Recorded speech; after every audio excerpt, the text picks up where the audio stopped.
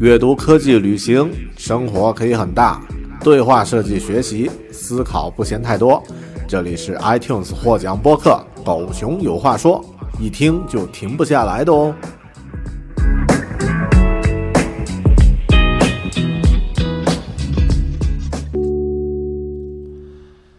Hello，你好，欢迎收看、收听《狗熊有话说》播客，我是大狗熊。很长时间没有见，大家看到我的头发已经长得很啊杀马特了，非常长啊。在听节目的朋友可能看不到，但看视频的朋友呢，应该会有一个很直观的感觉。OK。嗯，今天这期节目呢，我想和大家分享，继续分享书啊。那么最近我读了一些中文、英文的书，那么觉得非常有意思的几本呢，挑出来用这期节目呢和大家逐一的分享啊。先从第一本开始啊，这本书的名字呢叫做《Project Hail Mary》，圣玛丽计划，也叫做中文翻译叫做拯救计划。它是二零二一年，嗯。在 Goodreads，就是全球最棒的这个读书推荐网站，呃，公认的呃一部最好的科幻小说。然后呢，也有很多大咖推荐啊，比尔盖茨、奥巴马都推荐。那么好在哪里呢？我自己读过以后觉得，完全是这个当年在二零一七年、一八年的时候，火星救援。刚刚出来的时候那种横空出世一个精彩的故事，然后秒杀呃市面上的其他科幻小说的当时的这样的一个感觉，所以要和大家分享第一本书《圣玛丽计划》。我先分享一下我的屏幕，那从这里呢啊右上角左上角呢就是这本书的作者叫做这个 Andy Well，那么。我读这本书的起因呢，除了因为这个 Goodreads 推荐，其实更多呢是因为之前读过了呃 Andy Real 的上一本书《火星救援》，那么非常的精彩。那么是一个一个人啊，在一个孤独的世界火星上自救的这样的一个故事，但是同时呢，也有这个很乐观的这种精神，就全世界包括 NASA，包括中国、美国，呃的这个。宇航航天的力量呢，联合起来去救这个被困在火星上的人。这个故事呢，也拍成了电影。电影呢，也是我很喜欢的一部啊硬科幻的这作品。那么，因为这样的一个，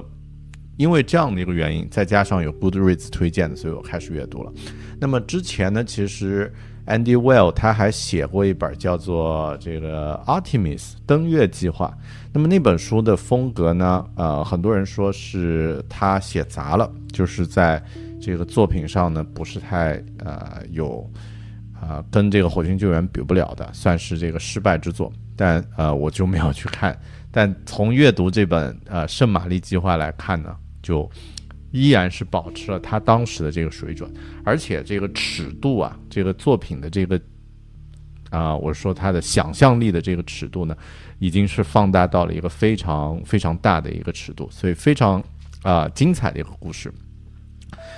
嗯，简单分享一下这个故事啊，可能会有一点剧透，如果你呃比较介意的话呢，就可以呃跳过这一段，这个进行介绍了。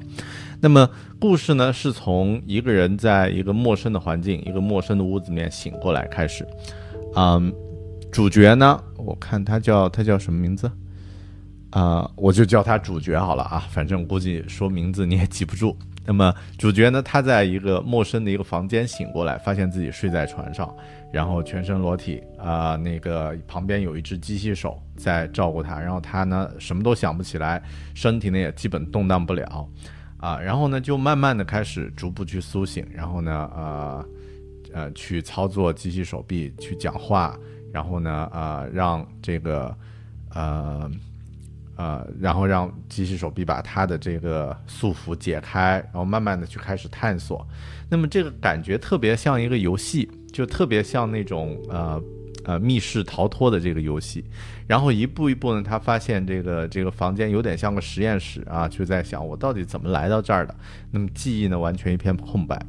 这个过程其实是一个非常有意思的过程。比尔盖茨在阅读这本书的时候也说，这这一段是写的特别精彩啊，因为他在过程中呢，就慢慢去发现，哎，他。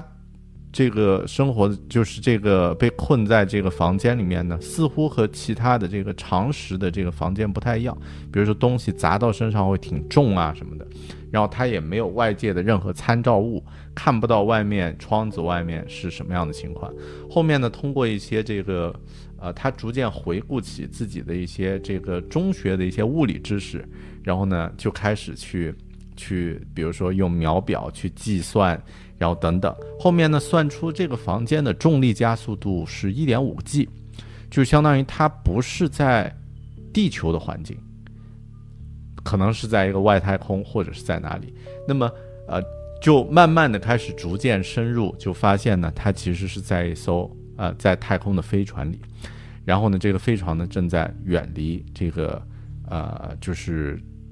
朝着某个他也不知道的方向开始前进，然后他又逐步逐步的探索啊，那么这个过程就特别有意思啊。通过一些这个很细节的一些这个设定和描写呢，然后呢，他也慢慢的这个人也开始回忆起以往的一些情情形了。后面呢，通过他的回忆逐渐深入，他的这个脑大脑的技能慢慢开始这个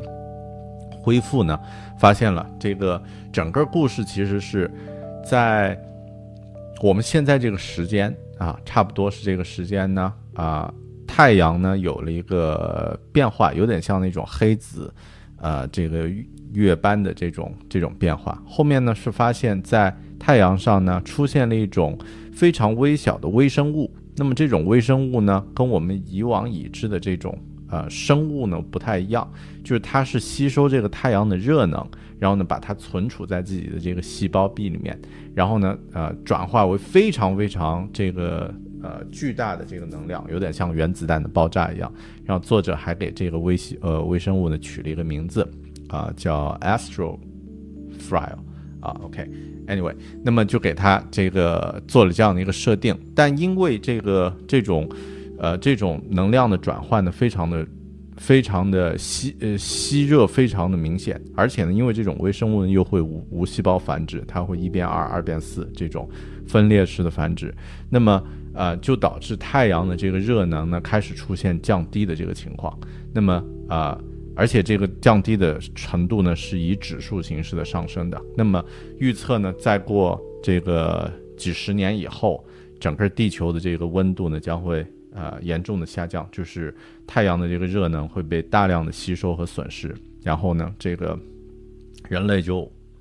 就会灭绝了，因为呃，相当于是一个反的一个温室效应。那么，呃，因为这样的一个原因呢，这个全世界的这些国家就开始联合起来去搞研究。然后这个主角呢，当时是做一个科学家啊，那也写过论文，后面因为论文被拒绝了，他就一气之下就。呃，离开科学界去这个当呃中学老师，去教小朋友这个呃科学，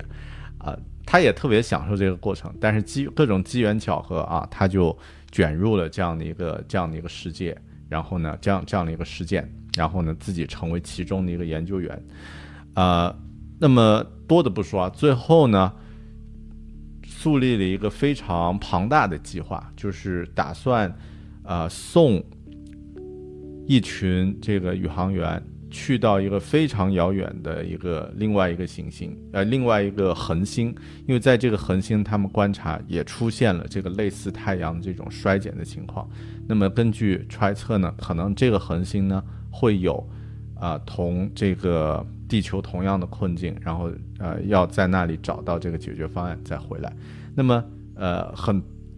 常见的一个问题就是星际旅行，呃飞船的速度，我们现在科技是不能产生那种呃几乎是一点点接近光速的这种飞船的速度的。但是呢，因为这个微生物就是在吸收太阳热量这种微生物呢，其实是一种非常非常理想的宇航。这个燃料，因为它有这个像原子弹一样的这个威力，所以呢，就，呃，可以通过，呃，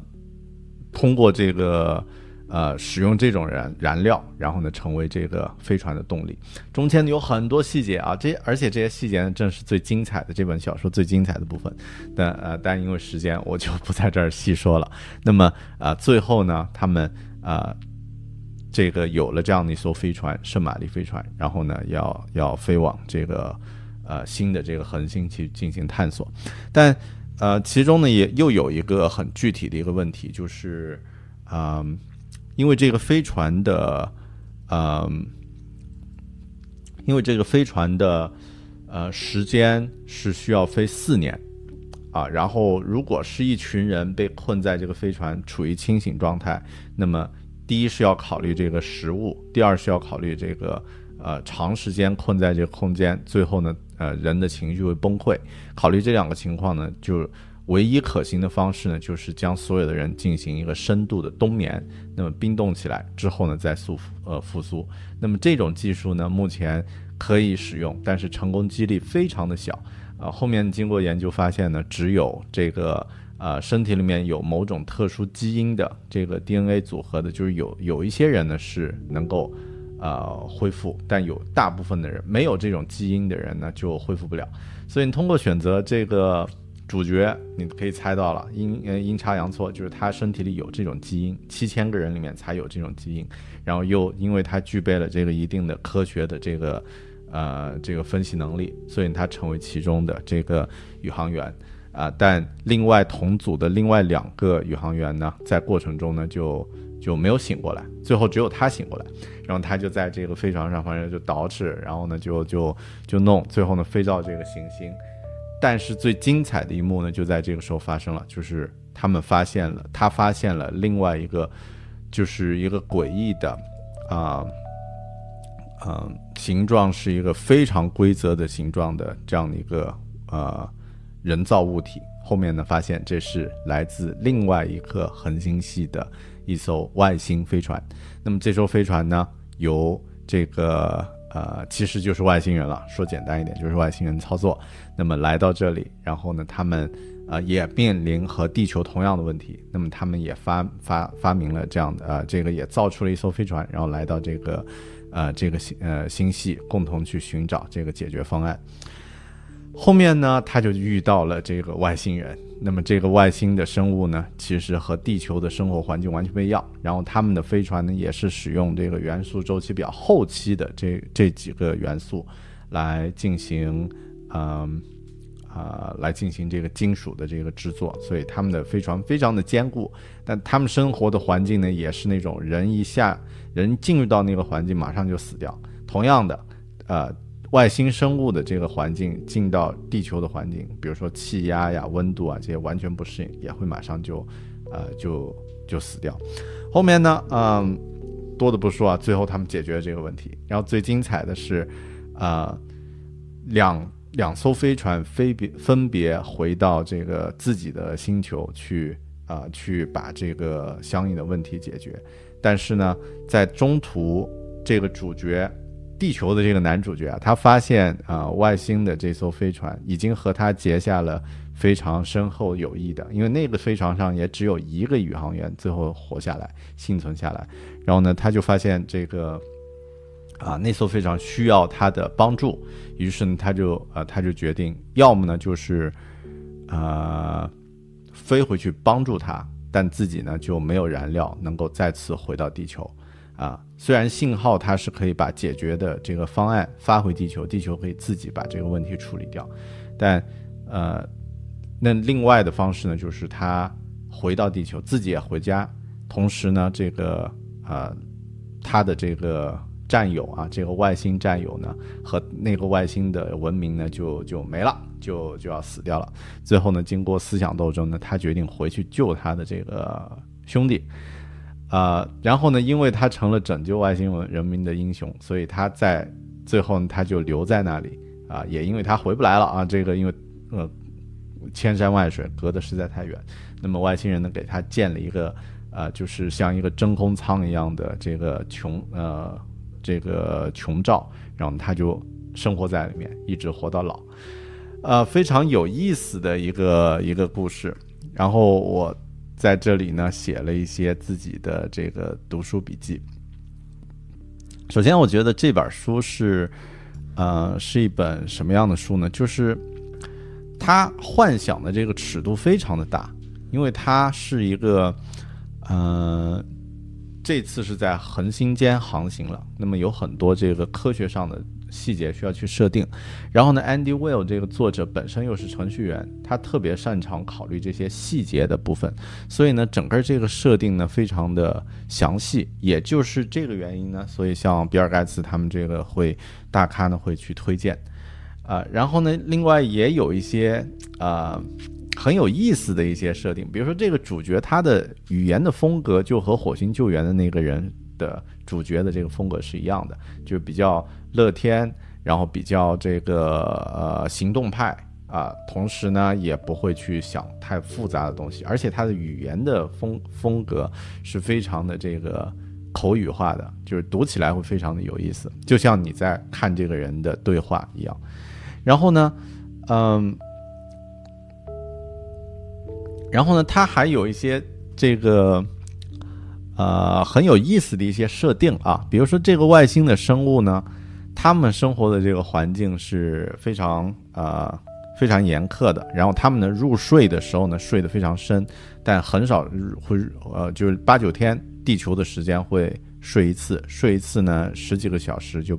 完全是不能动。那么这个他们有一个习惯，就是会找一个伙伴去盯着你入睡，就是在旁边看着，然后啊，等你睡醒了以后呢，啊，两个人再去做其他的事情。所以这个设定也非常有意思。主角呢一开始呢会被被这个外星生物弄得非常的不适应啊，就是你睡觉的时候旁边有个外星人在盯着你，但啊后面呢他自己啊也非常的习惯了这种方式。还有，啊，主角他啊，其他一些小的设定，比如说主角他来到了这个外星世界，那么只有他一个是地球，呃，地球生物只有他一个人。后面呢，呃，比如说他的食物这些怎么解决？呃，最后呢，这个就，呃，通过把自己的细胞克隆出来，就自己的肉克隆出来呢，那啊，就是他就可以有这个汉堡可以吃 啊，就是可以有这个。呃，自己肉做成的这个 Meberg 汉堡啊，呃，非常